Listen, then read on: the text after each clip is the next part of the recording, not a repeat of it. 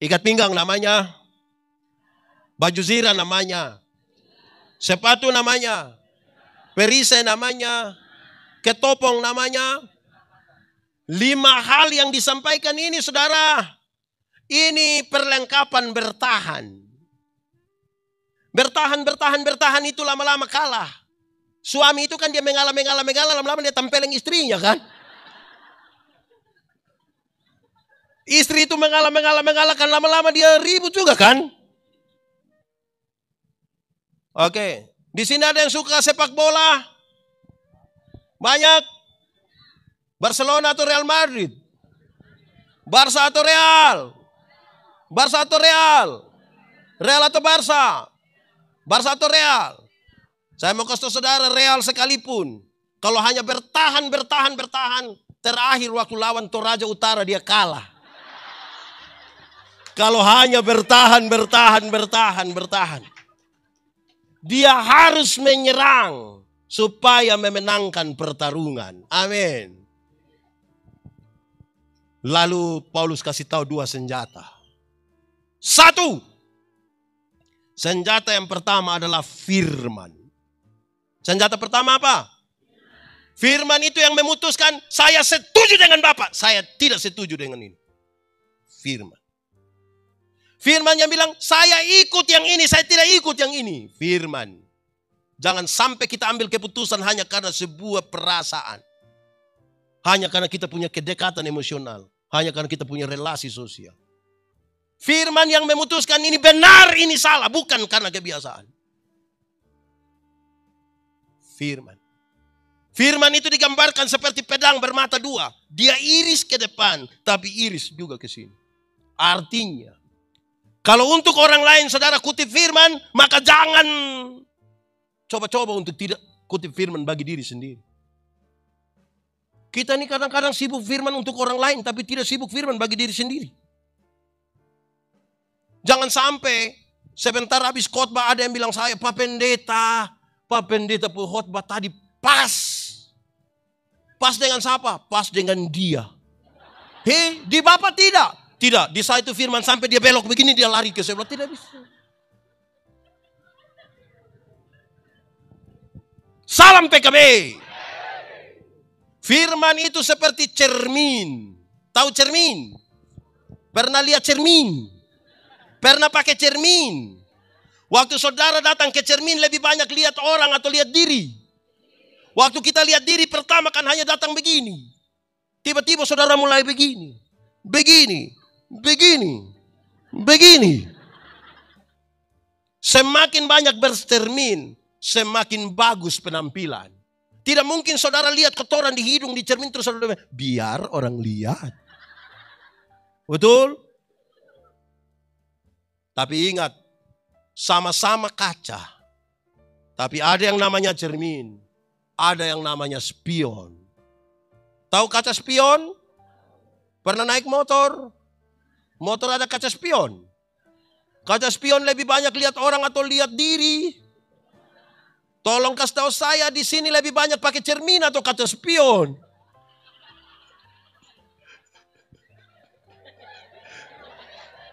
Salam PKB.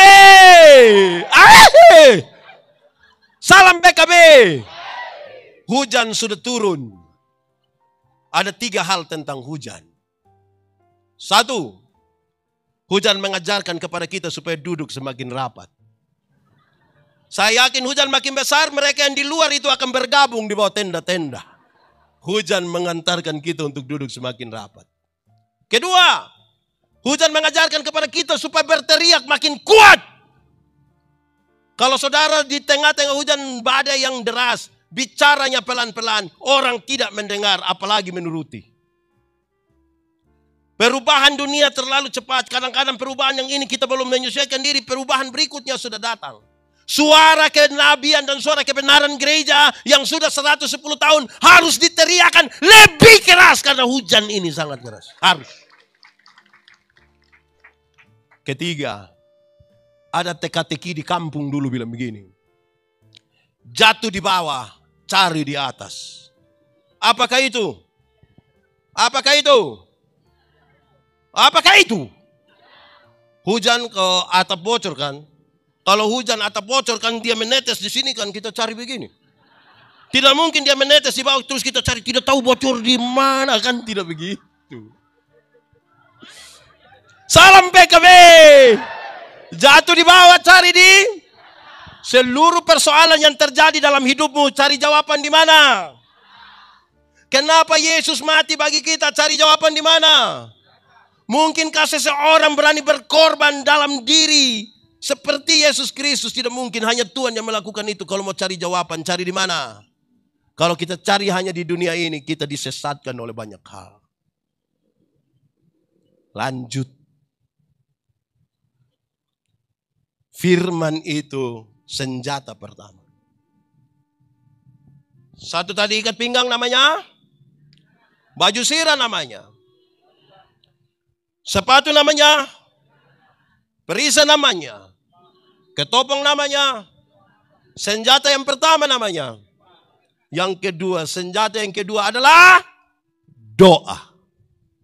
Senjata kedua apa? Bapak-bapak dorang ini tahu berdoa semua. Coba ibu-ibu. Ibu-ibu. Coba dengan sangat jujur engkau katakan bahwa suamimu memang tidak tahu berdoa. Salam PKB. Banyak keluarga hanya tergantung pada bapak-bapak. Bapak-bapak kalau ajak mama ibadah, mama pernah lawan. Anak pernah lawan. Tapi kalau mama ajak bapak ibadah, bapak pernah lawan. Lawan terus. Bapak-bapak menjadi tumpuan. Bapak-bapak, Coba pulang ajak istri anak ibadah malam. Bapak pimpin doa. Memang ada tantangan. Hari pertama baik, hari kedua baik, hari ketiga baik, hari keempat papa bilang, mama coba mama dengan anak-anak dulu. Papa punya pinggang kenapa ya?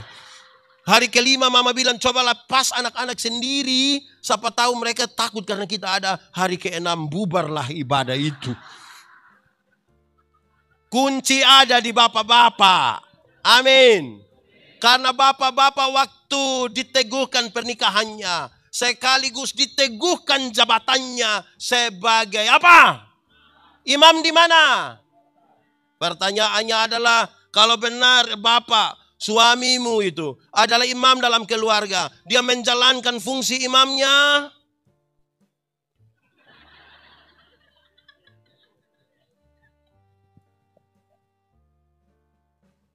Dia menjalankan. Ibu-ibu omong saja, bapak dong tidak lihat ibu dong pemulut. Doa. Eh, saudara-saudara. Saya mau kasih tahu saudara doa. Boleh saya tambah kira-kira 5-7 menit begitu bolehkah? Oke. Doa itu relasi, bukan kata-kata. Doa apa? Relasi bukan kata-kata. Banyak orang terlalu memperhitungkan kata-kata sampai lupa membangun relasi. Bahkan beberapa orang karena dia hanya omong kata-kata, maka dia punya bicara itu semua doa kalimat sama. Di sini ada yang semua doa kalimat sama. Doa persembahan juga itu kalimat, doa baca firman juga itu kalimat, doa makan juga itu kalimat. Itu ada di sini. Dia ada di sini. Dia majelis atau jemaat.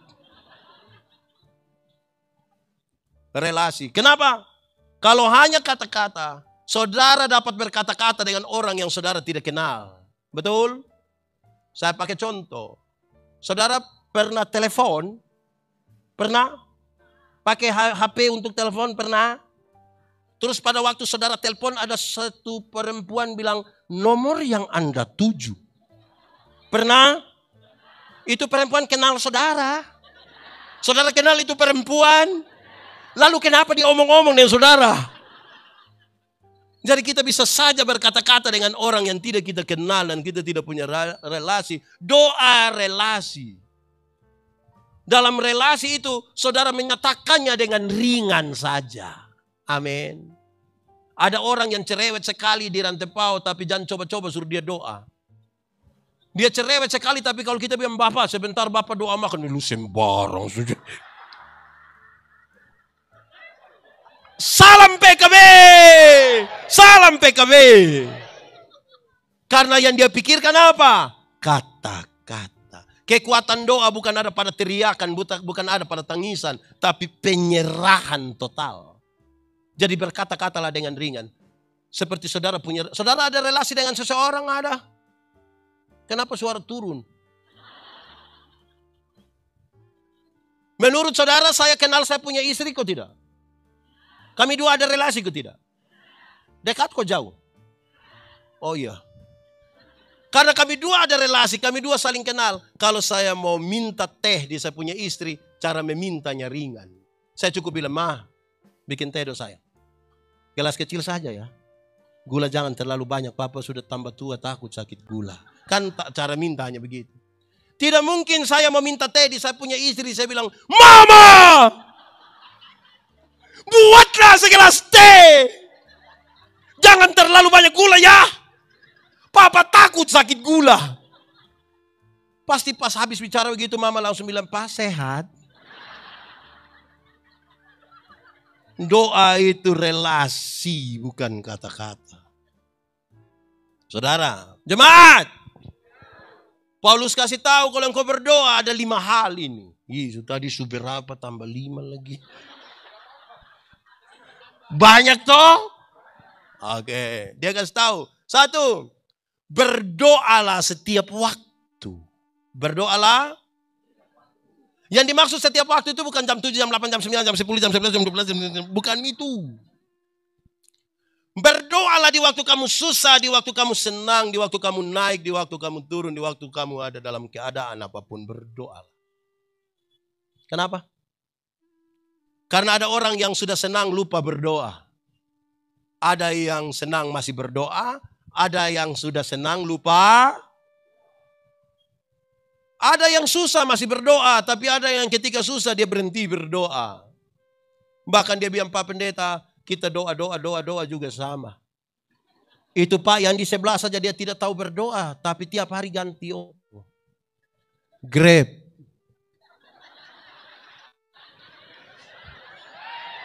Salam PKB.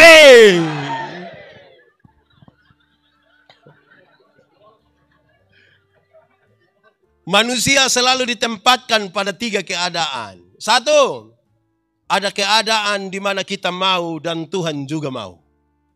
Pernah alami? Kita akan bersyukur kalau kita mau, Tuhan mau.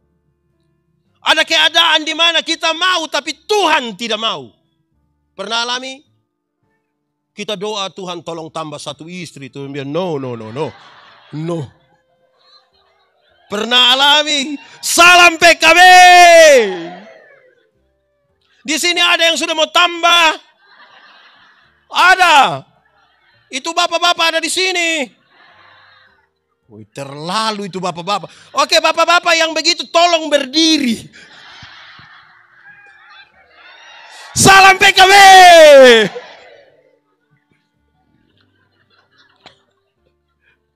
Ya ternyata saya yang berdiri. Aduh. Ada keadaan di mana Tuhan mau tapi kita tidak mau. Tuhan mau, hei engkau berhenti berjudi. Tapi kita masih belum mau. Betul. Tuhan mau kita berdamai tapi kita masih marah. Betul. Saya suka itu ibu yang ulang. Betul. Salam ibu. Salam PKB. Saudara-saudara, berdoalah setiap waktu. Kedua, berdoalah dalam roh. Berdoa? Yang dimaksud dengan berdoa dalam roh bukan berarti berdoa dalam bahasa roh. Apalagi kalau saudara tidak mengerti. Berdoa dalam roh artinya dalam kesatuan dengan roh kudus. Kenapa? Tuhan yang kita sembah, Tuhan yang kudus. Tuhan yang kita, kepadanya kita datang, dia kudus. Ingat, yang kudus tidak dapat bersatu dengan yang tidak kudus. Yang gelap tidak dapat bersatu dengan yang terang. Tanggalkanlah kasutmu sebab tempat di mana engkau berdiri itu kudus. Banyak orang bisa berkata-kata doa yang dengan baik tapi tidak menjaga kekudusan hidupnya. Dia berkhotbah di acara pernikahan berapi-api, syukuran khotbah berapi-api. Habis dia yang minum di pinggir situ.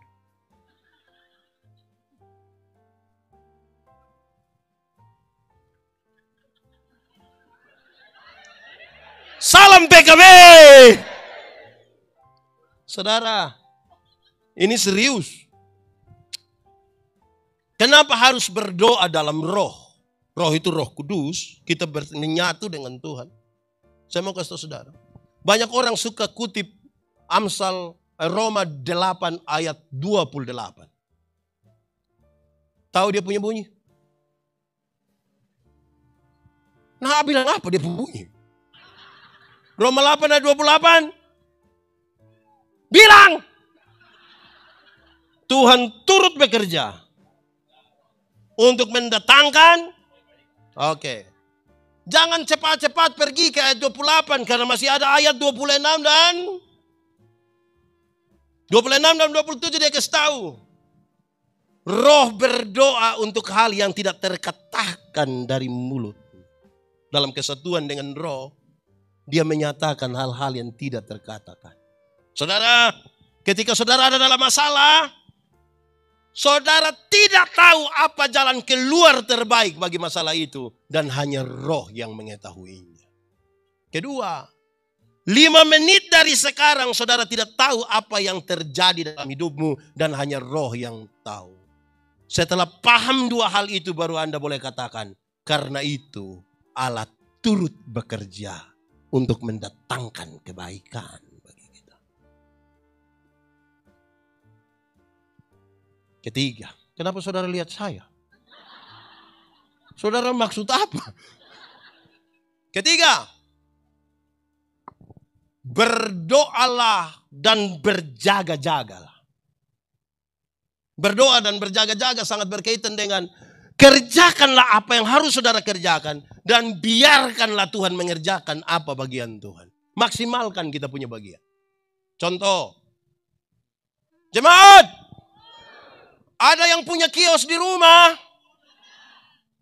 Coba setelah berdoa terus saudara pulang sebentar bilang pada anak-anak. Anak-anak sebentar malam kamu langsung tidur saja tidak usah tutup kios. Terus anak-anak bilang, Loh kenapa tidak tutup? Hah?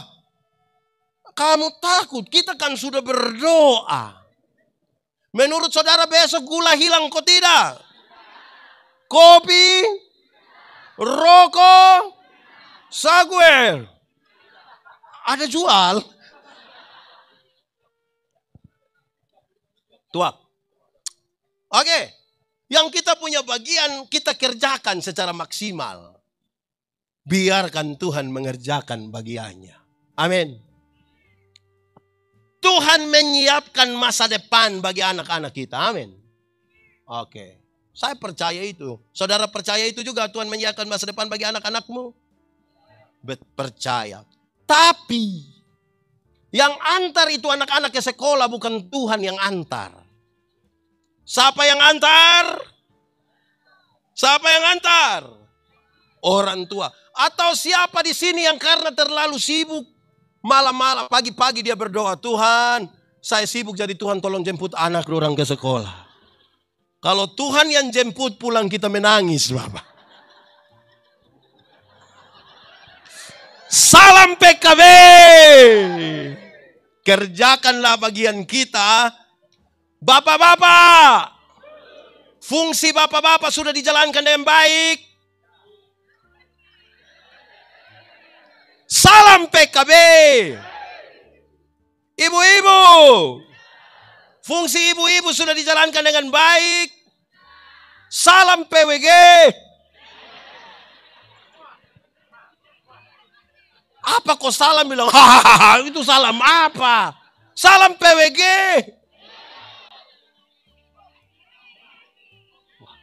Saya pusing lah. Sudah ada salam PWG. Eh, apa? Apa? sudah, sudah, sudah. Saya bertanya ke Oh Jayalah. P. Nah itu sudah.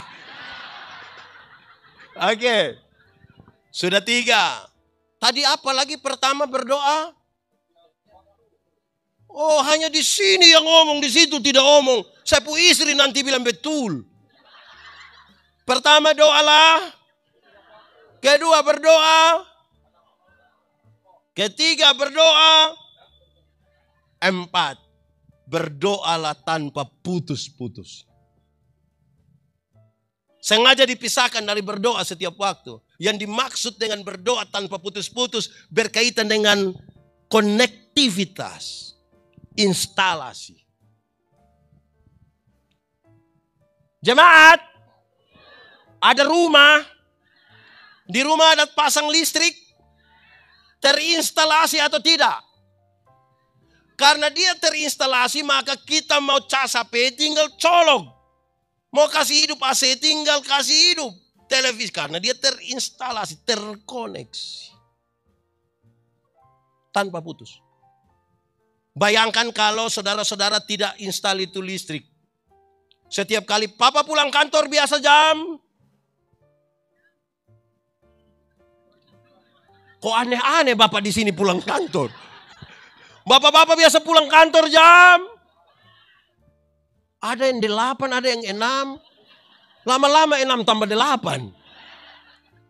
Bayangkan kalau sore bapak pulang kantor baru bapak telepon. Mama tolong beli kabel. Oven tes, lampu, tangga. Dan setiap hari bapak pulang hanya suruh beli oven. Konektivitas. Ada dua kalimat tentang doa, saudara biasa dengar. Dua orang bilang begini, satu, Yesus hanya sejauh doa. Yesus hanya. Saudara tahu lagu ini? Kalau tahu pulang baru menyanyi. Kita dengar dengar khotbah dulu. Yesus hanya sejauh doa. Relasi kita itu salah satu penentunya adalah doa-doa kita. Amin. Kedua dia bilang begini. Doa adalah nafas hidup orang percaya. Saudara ada nafas? Coba tahan nafas. Bisa tahan satu menit? Dua menit? Dua jam? Bisa? Kalau kita tahan dua jam orang yang pikul kita. Saudara lihat, jangankan sampai tanpa napas. Napas sesak saja kita pusing. Di sini ada yang asma. Saudara tahu kalau kita napas sesak itu kan tarik dia seperti tidak turun di sini. Dia di sini kita mesti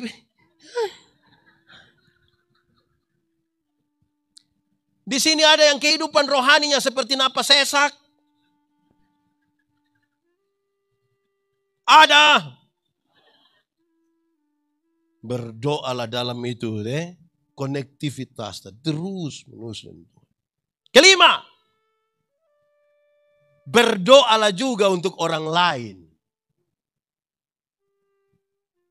Saudara pernah berdoa untuk orang lain? Doa serahkan.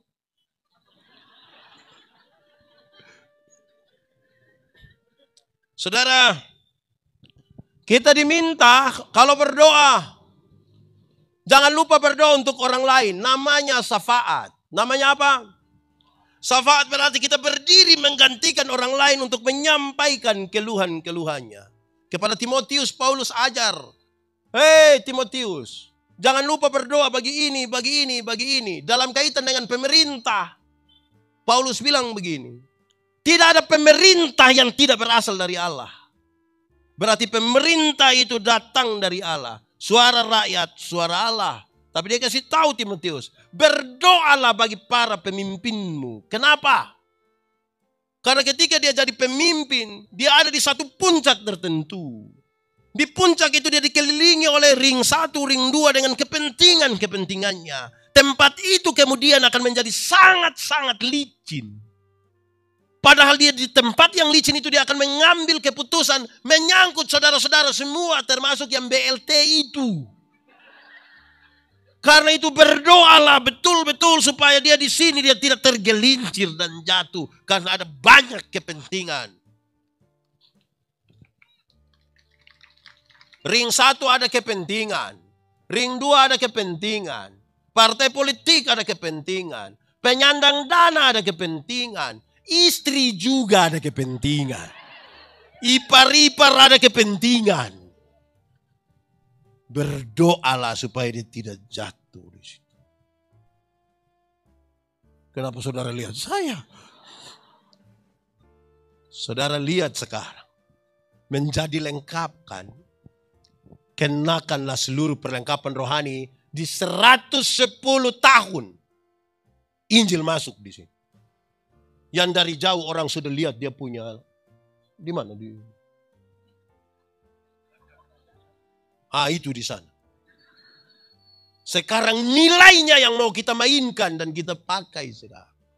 Ikat pinggang namanya. Baju sirah namanya. Sepatu namanya. Perisai namanya. Ketopong namanya. Senjata pertama. Senjata kedua. Dalam doa pertama berdoalah. Kedua berdoa. Ketiga berdoa dan keempat berdoalah tanpa dan yang kelima berdoalah. Kalau saudara lakukan itu saya percaya Kemuliaan Tuhan terjadi di tempat ini. Di tempat ini nama Tuhan dipermuliakan. Apa saja yang engkau buat berhasil. Karena engkau berjalan dan hidup bersama-sama dengan Tuhan. Mari tunduk kepalamu di hadapan Tuhan. Yesus baik.